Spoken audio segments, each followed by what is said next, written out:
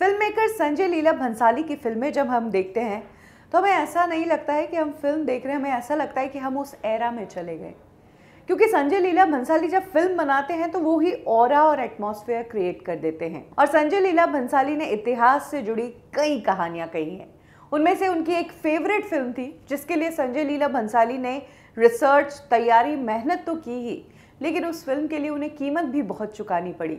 उनके सेट तोड़े गए सेट पर आग लगाई गई, उन्हें थप्पड़ मारा गया और उन पर कई इल्ज़ाम लगाए गए। ये फ़िल्म थी पद्मावती, जिसका नाम आगे चलकर रखा गया पद्मावत, क्योंकि इस फ़िल्म के नाम पर भी बवाल मच गया था। संजय लीला भंसाली ने इस फ़िल्म के ज़रिए कहानी बताई थी कि कैसे पद्मावती पर अलाउद्दीन खिलजी की नज़र खराब थी और कैसे राजा रतन सिंह ने पद्मावती की इज़्ज़त बचाने के लिए अपनी जान तक की कुर्बानी दे दी और फिर पद्मावती ने अपनी ज़िंदगी डेडिकेट की अपने पति को जौहर करके। यानी कि फ़िल्म के एंड में दिखाया गया कि पद्मावती और उनके गाँव की जितनी भी औरतें होती है, वो जौहर कुंड, यानी कि आग से लगे हुए एक कुंड में कूद जाती है। काफ़ी इमोशनल कर देने वाली ये फ़िल्म थी और एक एरा की इस फ़िल्म ने बात की कि तब जौहर करती थी लेडीज़ और उस एरा की एक ऐसी कहानी बताई कि कैसे औरतें अपनी इज़्ज़त किसी गैर मर्द के हवाले नहीं करती है, उन्हें आग में कूदना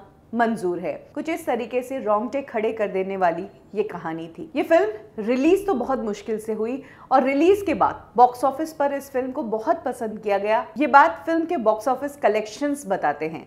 लेकिन इस फ़िल्म पर सवाल उठाया फ़िल्म इंडस्ट्री की एक एक्ट्रेस ने, जिसने खुद ने इंडस्ट्री में संजय लीला भंसाली की फ़िल्म से ही अपने करियर की शुरुआत की। ये एक्ट्रेस और कोई नहीं, बल्कि स्वरा भास्कर है। वैसे इन दिनों तो स्वरा भास्कर अलग ही बातों के लिए चर्चों में रहती है, लेकिन ये बात सच है कि स्वरा भास्कर ने गुजारिश फ़िल्म से अपने करियर की शुरुआत की और उसके बाद उन्होंने कई और फ़िल्में की। तनु वेड्स मनु, ये सारी फ़िल्में बाद में आई।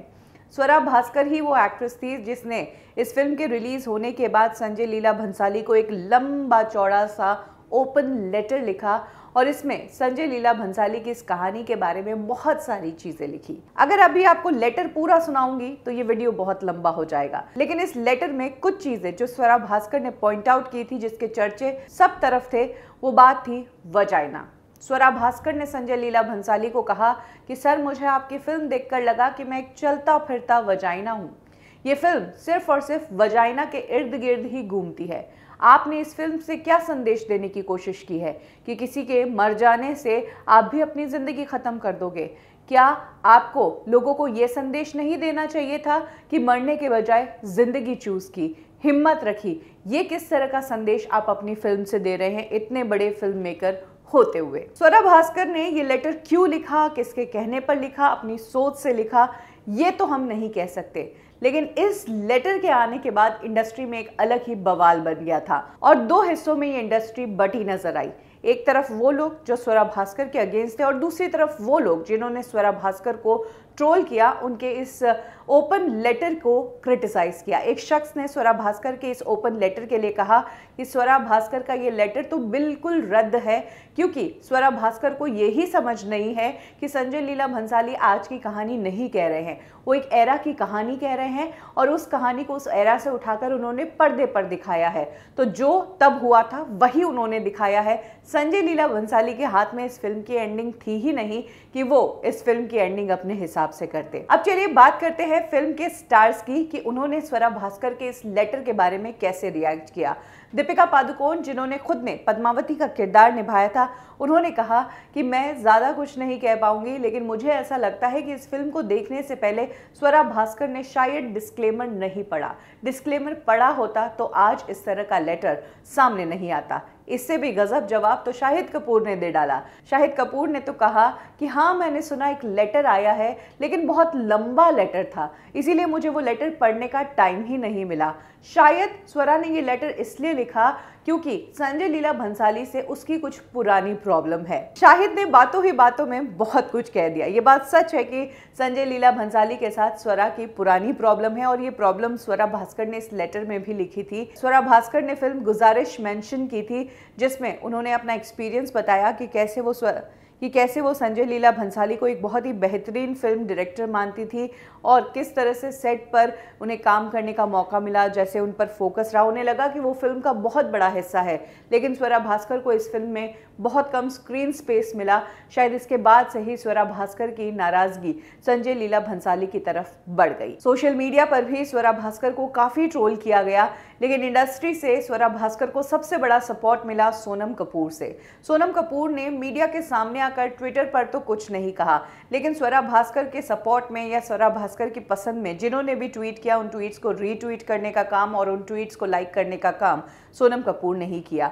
इसके अलावा सोनम कपूर ने एक मीडिया इंट्रैक्शन के दौरान ये ज़रूर कहा कि मैंने फ़िल्म पद्मावत तो देखी नहीं है, लेकिन स्वरा भास्कर ने जो कुछ कहा है, वो उनका हक है बोलने का, वो उनकी सोच है और हर कोई अपना ओपिनियन रख सकता है। कम ही लोग जानते हैं कि सोनम कपूर और दीपिका पादुकोण में कुछ खास बनती नहीं है। दोनों गजब की कॉम्पिटिटर रही है और एक टाइम पर एक दूसरे के पीआर पर भद्दे इल्ज़ाम भी लगा चुकी है। इतना ही नहीं, बात करें संजय लीला भंसाली की तो हम सब जानते हैं कि संजय लीला भंसाली के साथ सबसे पहले काम सोनम कपूर ने किया था, लेकिन बाद में भंसाली की फेवरेट दीपिका हो गई। इनफैक्ट रामलीला फ़िल्म जो है, उस फ़िल्म के लिए सोनम कपूर ने खुद ने ऑडिशन दिया था, लेकिन ये फ़िल्म मिली दीपिका पादुकोण को और इस फ़िल्म ने दीपिका की किस्मत ही चमका दी, जिस पर कुछ लोगों ने ये भी कहा कि सोनम कपूर को तो स्वरा को सपोर्ट करना ही था। सबसे बड़ी बात, उस वक्त स्वरा भास्कर खुद सोनम कपूर के साथ फ़िल्म कर रही थी वीरे दी वेडिंग जो कि उसी साल रिलीज़ हुई थी। जनवरी में पद्मावत फ़िल्म आई थी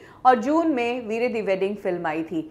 और तो और जिस वजाइना के बारे में स्वरा भास्कर ने इतना बड़ा लेटर लिखा था, वजाइना को लेकर ही वीरे दी वेडिंग में इनका एक सीन था, जो कि वाइब्रेटर वाला सीन था और ये सीन सोशल मीडिया पर काफ़ी चर्चा का विषय रहा था। और इस फ़िल्म के इस सीन के बाद तो ये पूरा बवाल ही खत्म हो गया, क्योंकि एक टाइम पर जो स्वरा भास्कर खुद वजाइना पर सवाल उठा रही थी, उनकी खुद की फ़िल्म में पूरा फोकस वजाइना पर ही नज़र आया।